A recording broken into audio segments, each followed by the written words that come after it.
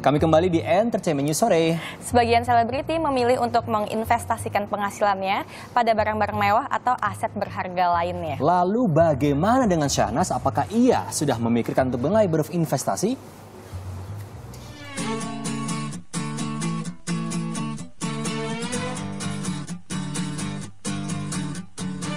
Setelah memutuskan untuk terjun ke dunia entertainment, job-job untuk mengisi acara pun mulai mengalir menghampiri Sahnat Syadika atau yang akrab disapa Nanas.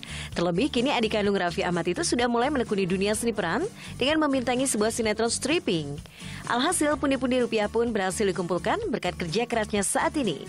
Namun walau demikian, ia mengaku masih belum memiliki keinginan untuk menginvestasikan penghasilannya ke dalam bentuk barang-barang mewah ataupun properti seperti yang dilakukan kebanyakan artis lainnya.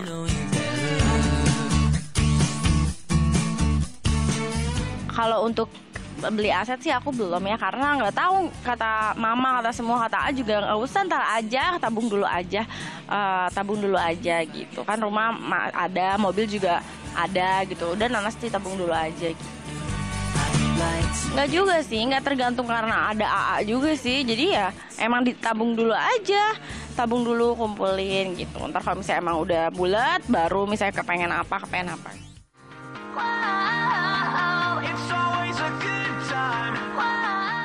ada lah. Pasti makanya sekarang kayak nabung ngumpulin uang. Jadi nanti kalau misalkan semua orang nggak nggak akan selamanya di dunia entertain juga sih kalau aku pikir. Pasti nanti ada masanya nggak di dunia ini gitu. Jadi harus ya nanti misalnya bisnis apa investasi apa jadi tetap nggak kelabakan. Gimana ya karena udah terbiasa di dunia entertain.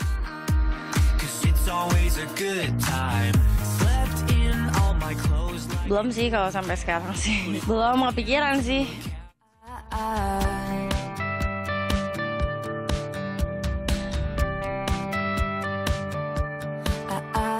Sementara itu, meski awalnya sempat menolak ajakan sang kakak untuk terjun ke dunia entertainment, namun nyatanya ia kini justru merasa nyaman setelah mencicipi manisnya kesuksesan di dunia hiburan.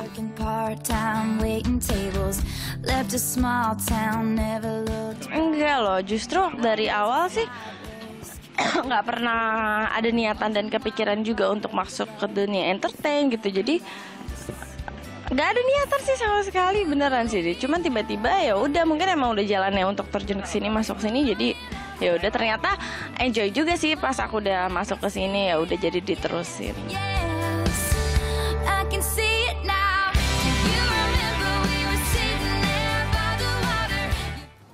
Saya